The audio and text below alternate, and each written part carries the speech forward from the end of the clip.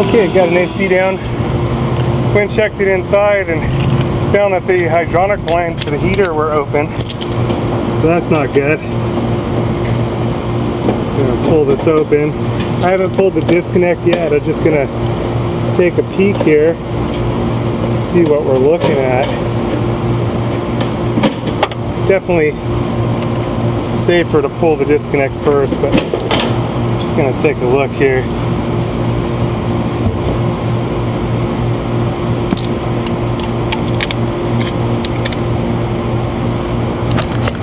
Check and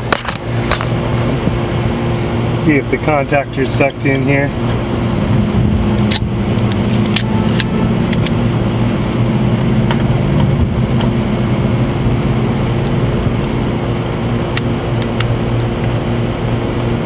It could just be the fuses because uh, the unit would have been running together with the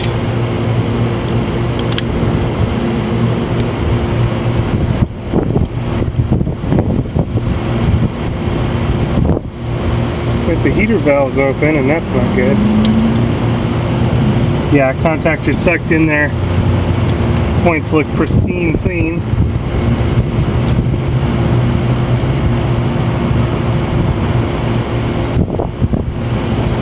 Put the cover back on. And change the fuses. First, just looking for any burned wiring and looking at the capacitor to see if it's bulged out at all and everything looks okay there. So I'm just going to change the fuses down here.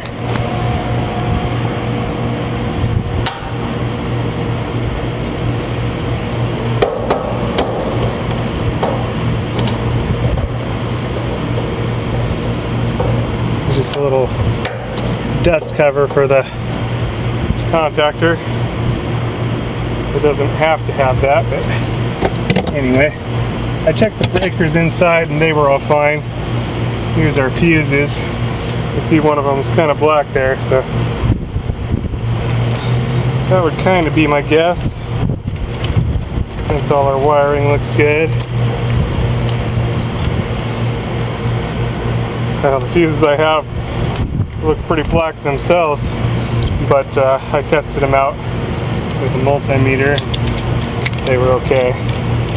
So I'm just gonna pop these out. I can check these later with my ohm meter. Maybe I'll recover one of them. It's usually one of them goes bad.